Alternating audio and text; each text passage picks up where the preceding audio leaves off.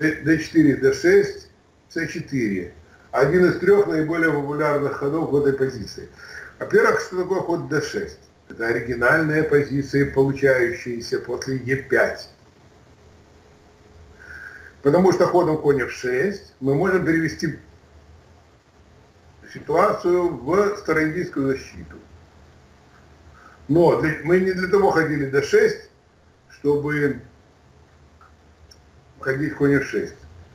Мы ходили d6 для того, чтобы пройти e5. Открыто все это было в середине прошлого века.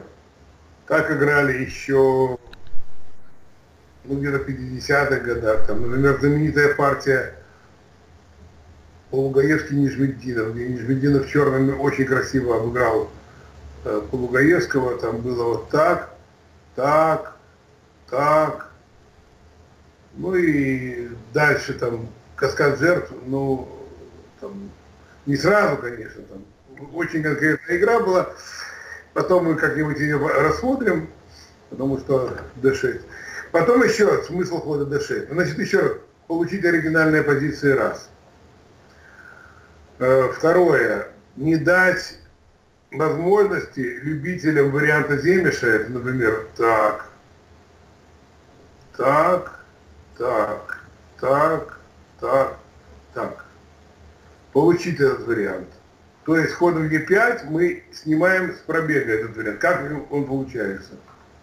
Никак. Ну, да. Сейчас забрать и все.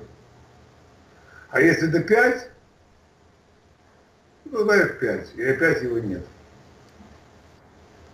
Смысла, смысла так ходить тоже нет, потому что так, и я думаю, что мы можем даже, не стесняясь, полакомиться пешкой.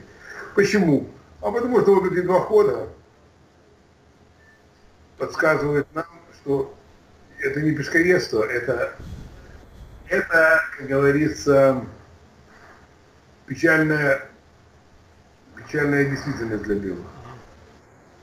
Ну, даже если так, ну, мы просто отошли. Понял. Ну, ничего тут нет. У белых. А у нас пешка есть. Так, дальше.